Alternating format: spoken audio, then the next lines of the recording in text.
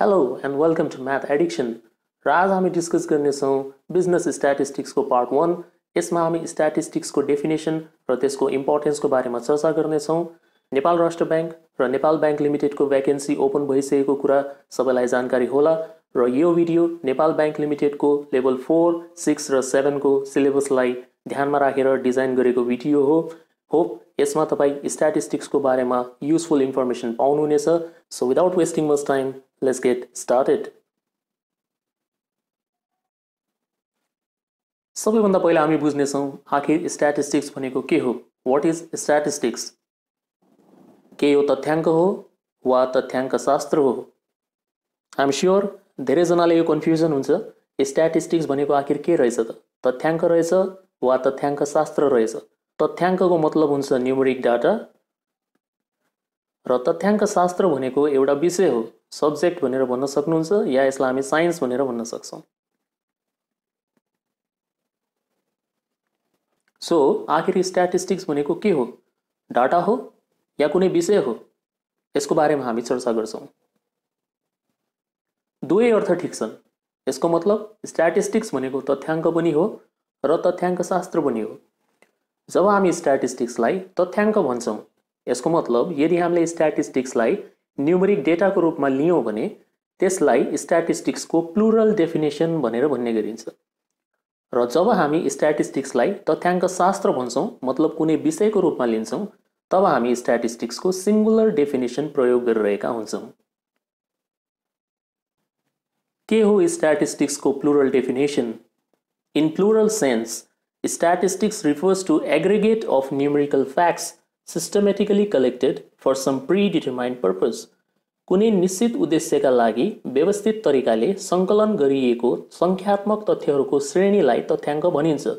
यसको मतलब हरेक सङ्ख्यालाई स्ट्याटिस्टिक्स भन्न मिल्दैन जस्तै मैले यहाँनिर एकल सङ्ख्या सिङ्गल नम्बर लेखिदिएँ फोर्टी केजी यो भनेको स्ट्याटिस्टिक्स होइन। स्ट्याटिस्टिक्स हुनको लागि के हुनुपर्छ भन्दाखेरि तथ्यहरूको श्रेणी या सिरिज अफ डेटा हुनु पऱ्यो जस्तै मानौ, मैले तिनवटा विद्यार्थीको एबिसीको वेट लेखेँ यहाँनिर फोर्टी केजी बीको फिफ्टी केजी र त्यसै गरेर फिफ्टी फाइभ केजी लेखेपछि यो डाटाको समूह भयो सेट भयो। सो यस्तो डेटाको कलेक्सनलाई हामी स्ट्याटिस्टिक्स भनेर भन्ने गर्छौँ, जो कुनै निश्चित उद्देश्यको लागि कलेक्सन गरिएको हुन्छ र यसबाट हामी के निकाल्न सक्छौँ? यिनीहरूको एभरेज या औसत निकाल्न सक्छौँ? त्यो सिङ्गल नम्बरले त्यो जुन औसत आउँछ त्यो सिङ्गल नम्बरले यो पुरै सेट अफ डेटालाई रिप्रेजेन्ट गर्छ. सो स्ट्याटिस्टिक्स भनेको कुनै साधारण सङ्ख्या होइन। स्ट्याटिस्टिक्स भनेको ह्युज मास अफ डाटा धेरै डेटाबाट निकालिएको एउटा निष्कर्ष हो एउटा निचोड हो भनेर बुझ्नुहोस्। सो प्लुरल सेन्समा स्ट्याटिस्टिक्सले एग्रिगेट अफ न्युमेरिकल फ्याक्ट्स बुझाउँछ। एकोर्डिङ टु दिस डेफिनेसन यो परिभाषा अनुसार स्ट्याटिस्टिक्स भनेको के रहेछ त? इट सिम्पली मिन्स डाटा कुनै निश्चित उद्देश्यका लागि कलेक्सन गरेको डाटा रहेछ जसलाई हामी न्युमेरिकली एक्सप्रेस गर्न सक्छौँ मतलब सङ्ख्यात्मक रूपमा तपाईँ त्यसलाई प्रस्तुत गर्न सक्नुहुन्छ। सो डाटा भनेको कति किसिमको हुनसक्छ दुई किसिमको प्राइमरी र सेकेन्ड्री यसको बारेमा हामी पछि चर्चा गर्नेछौँ है त।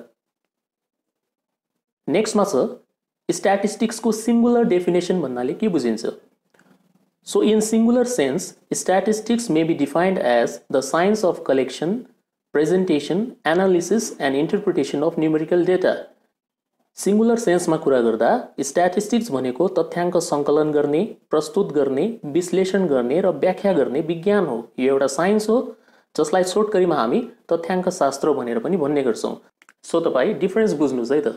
प्लुरल सेन्समा स्ट्याटिस्टिक्सले डेटा बुझाउँछ न्युमेरिक फर्मको सङ्ख्यात्मक रूपमा प्रस्तुत गरिएको डेटा हो। जबकि सिङ्गुलर सेन्समा स्ट्याटिस्टिक्स भनेको एउटा साइन्स हो, विज्ञान हो, तरिका हो, जसले हामीलाई डाटालाई कलेक्सन कसरी गर्ने प्रेजेन्टेसन कसरी गर्ने एनालिसिस कसरी गर्ने र इन्टरप्रिटेसन कसरी गर्ने, यो सब कुरा सिकाउँछ। Statistics refers to the tools and methods which can be applied to a र data to derive some meaningful information so statistics भनेको के रहेछ? सिङ्गुलर डेफिनेसन अनुसार यो भनेको तरिका या विधिहरूको सङ्गालो हो जसद्वारा हामी कुनै पनि डाटाबाट महत्त्वपूर्ण जानकारी निकाल्न सक्छौँ। ल अब हामी चर्चा गर्छौँ टाइप्स अफ स्ट्याटिस्टिक्सको बारेमा अथवा स्ट्याटिस्टिक्सका प्रकार कतिवटा हुन्छन्। त दुई किसिमको स्ट्याटिस्टिक्स हुन्छ। पहिलोवाला छ डिस्क्रिप्टिभ अथवा वर्णात्मक statistics Descriptive statistics are the summaries of data in the form of tables, diagrams, graphs or numeric values. यसको मतलब कुनै डाटालाई जब तालिका रेखाचित्र ग्राफ या एकल सङ्ख्याद्वारा संक्षेप रूपमा प्रस्तुत गरिन्छ त्यसलाई डिस्क्रिप्टिभ स्ट्याटिस्टिक्स भनेर भन्ने गर्छौँ। जस्तै तपाईँले धेरै ठाउँमा यस्तो टाइपको डायग्राम्सहरू देख्नुभएको होला यसलाई हामी बार डायग्राम्स भनेर भन्ने गर्छौँ यस्तो टाइपको लाइन डायग्राम भनेर हुन्छ। यो सबै के हो? यो सबै डाटाको रिप्रेजेन्टेसन हो अलग अलग तरिकाले। सो यो सबैको सम्मिश्रण भनेको के हुन्छ? डिस्क्रिप्टिभ स्ट्याटिस्टिक्स हुन्छ।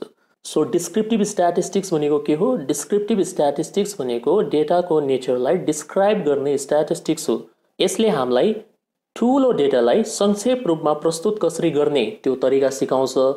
तालिकामा कसरी प्रस्तुत गर्ने रेखाचित्र बनाएर कसरी प्रस्तुत गर्ने ग्राफ कसरी बनाउने यो सबै कुराहरू जुन स्ट्याटिस्टिक्सभित्र स्टडी गरिन्छ त्यसलाई हामी डिस्क्रिप्टिभ स्ट्याटिस्टिक्स भनेर भन्ने गर्छौँ है त। अब some of the descriptive statistical measures are र केही प्रमुख यहाँनिर डिस्क्रिप्टिभ स्ट्याटिस्टिक्समा युज हुने टुल्स र टेक्निक्सहरूको बारेमा तल लेखिएको छ। यसभित्र प्रमुख रूपमा के के आउँछन् भन्दाखेरि मेजर्स अफ सेन्ट्रल टेन्डेन्सी जसलाई हामी औसत भनेर भन्ने गर्छौँ। मेन मिडियन मोड यसको बारेमा पछि हामी डिटेलमा पढ्नेछौँ है। अहिले खालि नाम थाहा पाउनुहोस्। अनि measures of dispersion जसभित्र range quartile deviation mean deviation standard deviation coefficient of variation यो सबै पर्छ। Measures of स्क्युनेसमा Karl Pearson's coefficient of skewness Bowley's coefficient of skewness र मोमेन्ट कोएफिसियन्ट अफ स्क्युनेस पर्छ measures of कर्टोसिसमा Kelly's coefficient of kurtosis moment coefficient of kurtosis यो सबै पर्छन् यो सबै डिस्क्रिप्टिभ स्ट्याटिस्टिकल टुल्स हुन् है त त्यसपछि आउँछ इन्फरेन्सियल स्ट्याटिस्टिक्स यो शब्दको अर्थ राम्रोसँग बुझ्नुहोस् इन्फरेन्स भन्ने एउटा वर्ड हुन्छ है आइएनएफइआरइएनसी इन्फरेन्सको मतलब हुन्छ अनुमान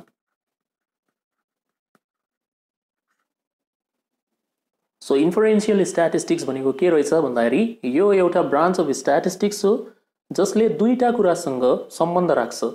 एउटा एस्टिमेसन अनुमान लगाउने र दोस्रो हाइपोथेसिस टेस्टिङ जसलाई हामी परिकल्पनाको जाँच भनेर भन्ने गर्छौँ है त।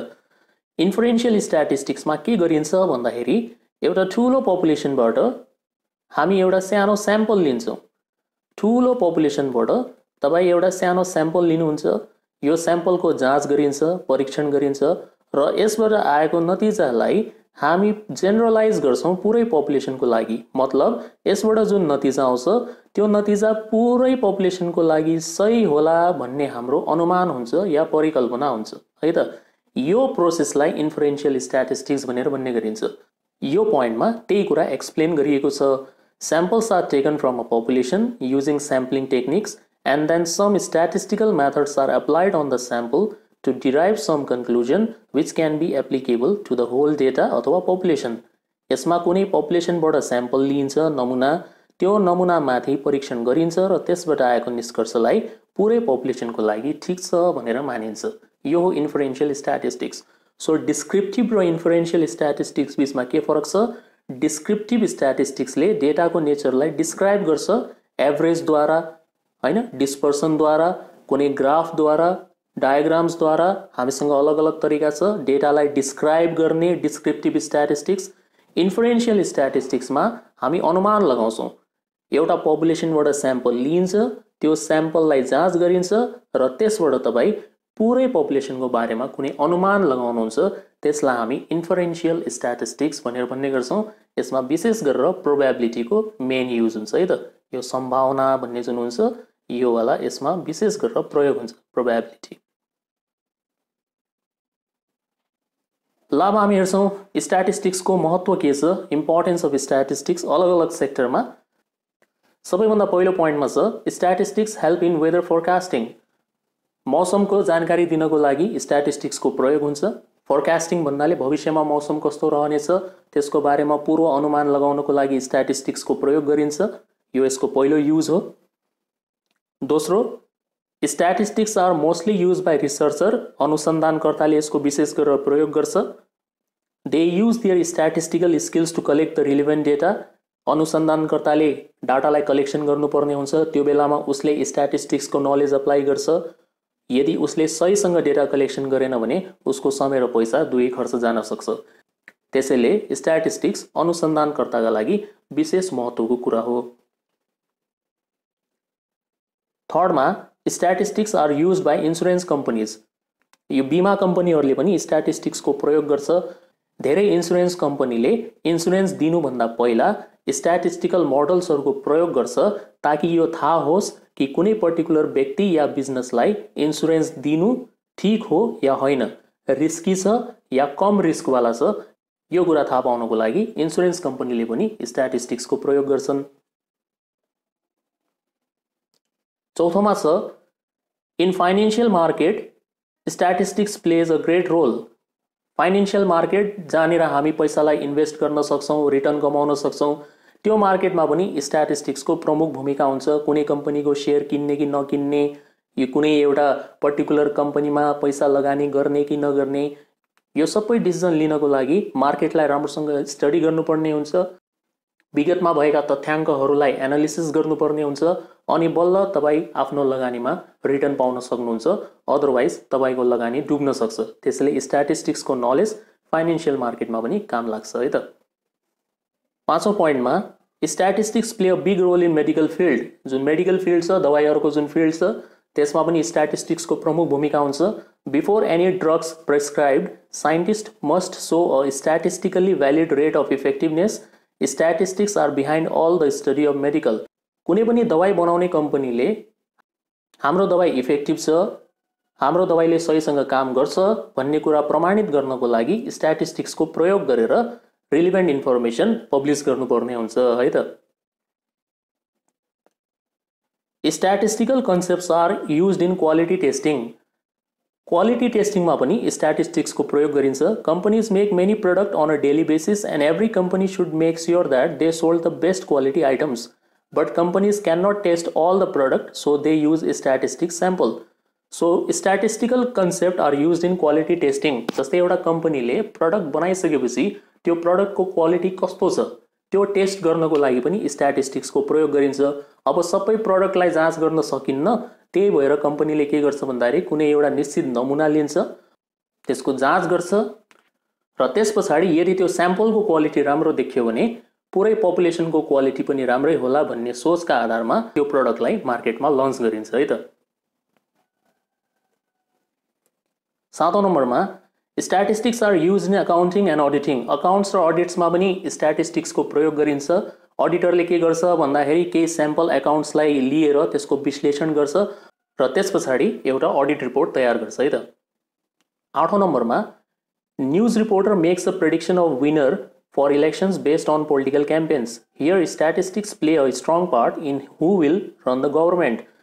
जुन न्युज हुन्छन् न्युज रिपोर्टर्सहरू हुन्छन् तिनले पनि स्ट्याटिस्टिक्सको प्रयोग गरिरहेका हुन्छन् यो थाहा पाउनको लागि कि आगामी चुनावमा कुन चाहिँ पार्टीको जित्न सक्ने सम्भावना बेसी छ कुन चाहिँ पार्टीले सरकार चलाउनेछ यो सबै जानकारी स्ट्याटिस्टिक्सद्वारा न्युज एजेन्सीहरूले लिइरहेका हुन्छन् है त नौ नम्बरमा Statistics data allow us to collect the information around the world. The internet is a device which help us to collect the information.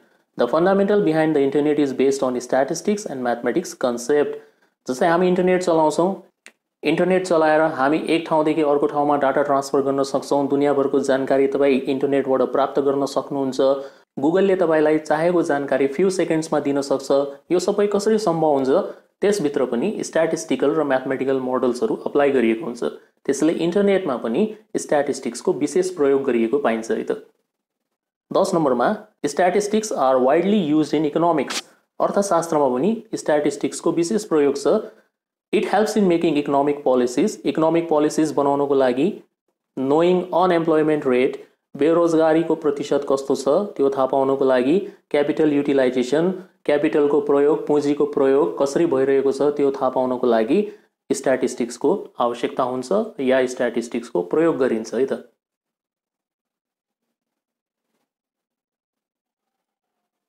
ल, यो भिडियोमा यति नै। होप तपाईँले स्ट्याटिस्टिक्सको बारेमा केही बेसिक जानकारी पक्कै पनि पाउनुभएको होला। Thank you for watching the video please subscribe my YouTube channel math addiction for more videos